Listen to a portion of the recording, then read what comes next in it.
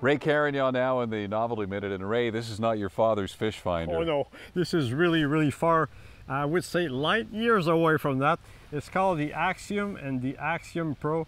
And these units works with a quad core processor, so it's blazing high speed.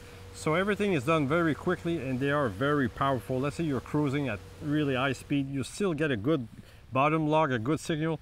And uh, you have what we call the Real Vision 3D. So you see everything in 3D with GPS lock. Let's say you have a GPS waypoint, you will see it on your 3D display you really know where you're going and also this unit works with the Navionics card for navigation they call that cartography with the Axiom Pro you have two choices you have the touchscreen but also you have a keypad so you have both on the same unit with the Pro so it's really something that can do everything. And you know these units are very easy to use. Even you Andrew in just one day you would be a master fisherman with the Raymarine Axiom and Axiom Pro. Unbelievable. Just one transducer does it all.